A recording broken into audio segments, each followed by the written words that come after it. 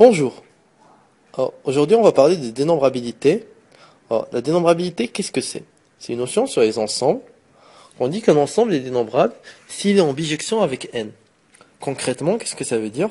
Dire qu'on peut compter les éléments de l'ensemble.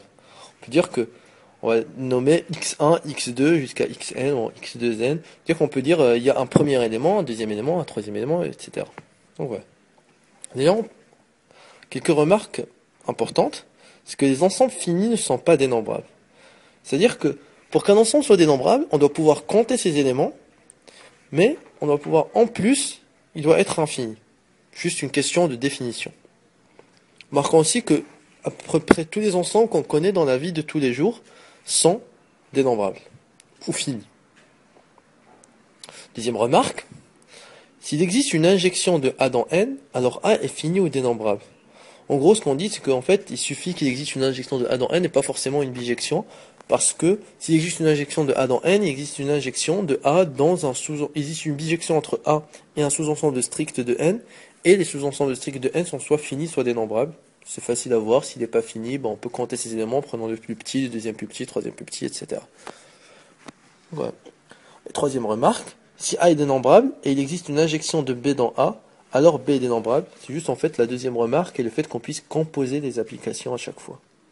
Maintenant, on va montrer que certains ensembles sont dénombrables. Mais avant, on passe des méthodes, on va lancer quelques méthodes standards pour montrer qu'un ensemble est dénombrable. Donc pour montrer qu'un ensemble E est dénombrable, on peut juste utiliser la définition, c'est-à-dire montrer qu'il est en bijection avec N. Bien. On peut aussi montrer que E est en et qu'il existe une injection entre E et un ensemble dénombrable. C'est-à-dire qu'il existe une injection de E dans un ensemble dénombrable de N, c'est euh, juste utiliser euh, la deuxième remarque. Donc, premier exemple, N privé de 0. Alors, N privé de 0 est dénombrable. Pourquoi? C'est simple. On prend l'application de N privé de 0 dans N, qui a petit n renvoie N-1. C'est-à-dire que, on va dire, dans N, le premier élément c'est 0, le deuxième élément c'est 1, le troisième élément c'est 2, on va dire que dans n étoiles, le premier élément c'est 1, le deuxième élément c'est 2, le troisième élément c'est 3, etc. On va renvoyer 1 sur 0, 2 sur 1, 3 sur 2, et là on a une bijection entre n étoiles et n.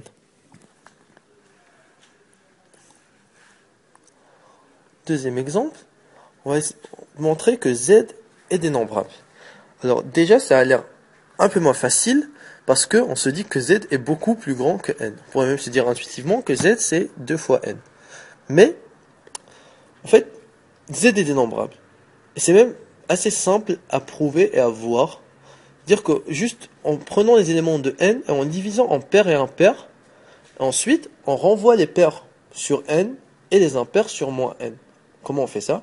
On va créer une bijection entre n étoiles et z et ça va nous prouver que z est dénombrable parce que n étoile est dénombrable. On va prendre l'application qui a n renvoie p si n égale de p et moins p si n égale de p plus 1. C'est-à-dire juste l'application qui a n renvoie partie entière de n si n est pair et moins partie entière de n, euh, euh, partie entière de n sur 2 si n est pair et moins partie entière de n sur 2 si n est impair. Donc comment on le voit sur le schéma en fait On va faire une sorte de zigzag entre n, entre les positifs et les négatifs et on va dire que bah, 0 ça va être le premier élément, euh, 1 ça va être le deuxième élément, moins 1 ça va être le troisième élément, 2 ça va être le quatrième élément, moins 2 ça va être le cinquième élément, 3 ça va être le sixième élément, etc. En fait on est arrivé à compter les éléments de Z. Donc voilà, Z est dénombrable. Maintenant on va énoncer un résultat général, c'est que le produit de deux ensembles dénombrables est dénombrable. Pour le démontrer, on va commencer par montrer que le produit de deux sous-ensembles dénombrables de n est dénombrable. Il y, a plusieurs, il y a plusieurs façons de faire. Donc la première façon, c'est de se dire que si on prend N1 et N2 des sous-ensembles dénombrables de N, hein, c'est comme si on prenait euh, N croix N en fait, parce qu'il y a des bijections, et donc on va les dessiner sur, euh, on va dessiner le premier ensemble sur l'axe des ordonnées, le deuxième sur l'axe des abscisses, et on va prendre les couples de points, ce qu'on appelle un réseau, euh, les couples de points de N1 croix N2, et donc en fait ça va nous faire euh, des choses comme ça, ensuite on dessine les diagonales. Et on va dire, on va compter les éléments de la façon suivante. Le premier élément, ça va être l'élément tout en bas, dans le coin. Le deuxième, ça va être euh, bah, celui sur la, en haut sur la première diagonale, ensuite en bas sur la première diagonale, ensuite, en fait, on va compter les éléments sur les diagonales successives. Et euh, ça, bah, on le, on le euh, reformule mathématiquement en créant une bijection un peu, bah, pas bizarre, mais bon, voilà. Sinon, on peut aussi penser à la décomposition en facteur premier, parce que la décomposition en facteur premier d'un entier, en fait, elle nous écrit l'entier comme une suite, une suite euh, finie euh, nulle à partir d'un certain rang d'entier, c'est-à-dire la suite des exposants devant les nombres premiers. Et on pourrait se dire qu'on va prendre l'application phi qui a x1, x2 renvoie 2 puissance x1 fois 3 puissance x2. Alors cette application, il suffit de montrer qu'elle est injective. Alors pourquoi elle est injective?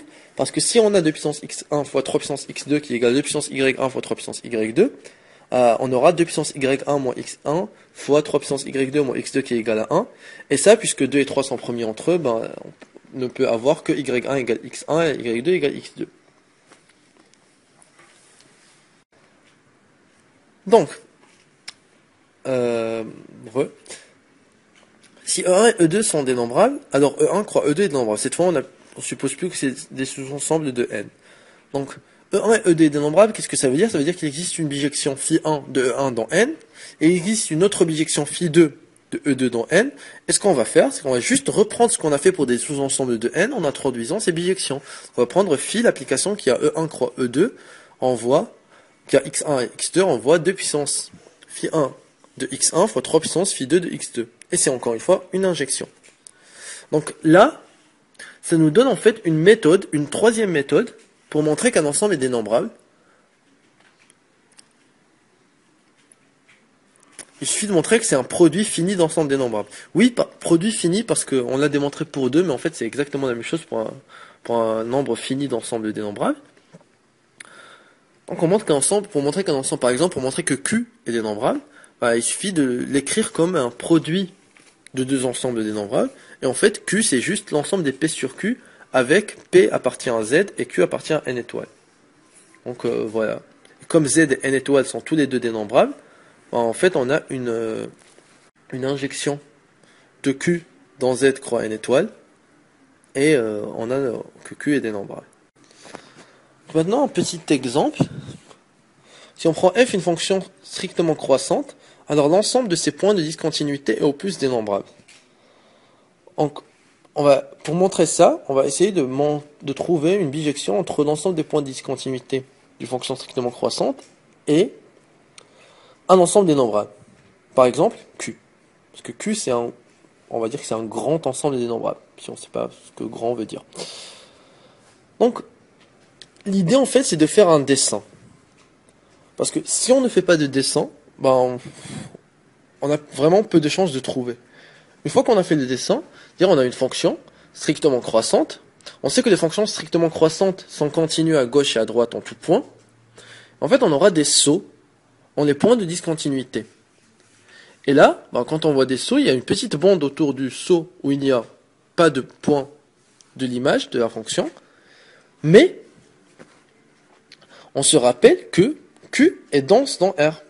C'est-à-dire que, puisqu'il y a un petit vide, et eh ben dans ce petit vide, il y aura forcément des points de Q. Puisque la fonction est strictement croissante, ces points de Q, ben, ils vont être distincts à chaque fois. Et donc si on choisit un point, à chaque fois qu'on a une discontinuité, on choisit un point de Q qui est entre la limite inférieure et la limite supérieure, en ce point de discontinuité, ah, on aura une bijection de notre ensemble des points de discontinuité dans Q. Et donc l'ensemble des points de discontinuité d'une fonction strictement croissante est dénombrable. Donc un dernier résultat, c'est que une union dénombrable d'ensembles finis et dénombrables est dénombrable. Donc là, ça nous donne une quatrième méthode pour montrer qu'un ensemble est dénombrable. Il suffit de montrer que c'est une union dénombrable d'ensembles finis ou dénombrables. Donc plus difficile, a priori, c'est de montrer pour une union dénombrable d'ensemble dénombrable. Ce qu'on va faire. si on prend une union dénombrable d'ensemble dénombrable, ici on a supposé que les ensembles étaient disjoints, juste pour simplifier l'écriture. En fait, le résultat est aussi vrai si les ensembles ne sont pas disjoints. Ce qu'on va faire, c'est qu'on va prendre une application de notre ensemble dans n au carré, dont on sait qu'il est dénombrable, parce que c'est le produit de n fois n et n est dénombrable. Et on va, pour chaque élément de notre union, on va compter la position de l'ensemble dans lequel il est, puis son image. C'est-à-dire que pour x appartenant à l'union des EI, x appartient à un unique EI, parce que les EI sont disjoints. Par exemple, x appartient à EK. Et donc ce qu'on va faire, c'est qu'on va renvoyer x sur le couple K, et puis son image FK de x, c'est-à-dire son image par la bijection qu'il y a entre EK et N. Donc c'est juste ça. Et là, on aura une bijection de notre union dénombrable d'ensemble dénombrable, fini ou dénombrable, donc ici dénombrable, dans n au carré. Donc, une conséquence de ça, c'est que l'ensemble des suites finies, c'est-à-dire l'ensemble des suites nulles à partir d'un certain rang à valeur dans Q, est dénombrable.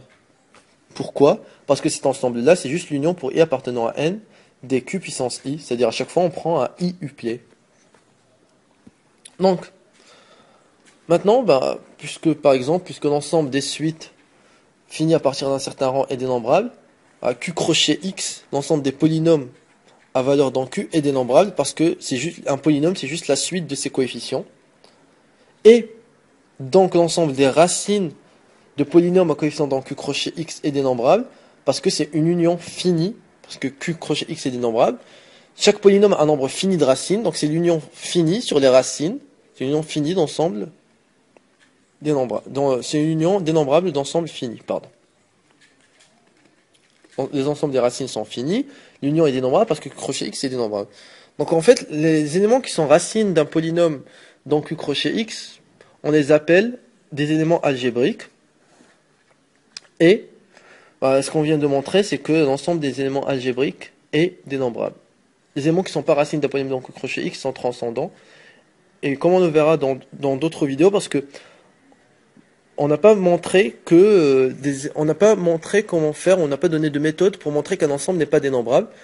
Donc on va le faire plus tard. Et comme on va le voir, bah, R n'est pas dénombrable. Et donc les, éléments qui sont pas racines d'un polynôme dans le crochet X, qu'on appelle des éléments transcendants, bah ils sont pas dénombrables. Et donc euh, merci. Euh, comme petit exercice, vous pouvez montrer que alors comme petit exercice, vous pouvez montrer qu'un ensemble est infini si seulement-ci est en bijection avec une de ses parties strictes. C'est assez drôle. Et vous pouvez aussi essayer de montrer qu'une fonction continue à gauche en tout point. Si une fonction est continue à gauche en tout point, l'ensemble de ses points de discontinuité est aussi dénombrable.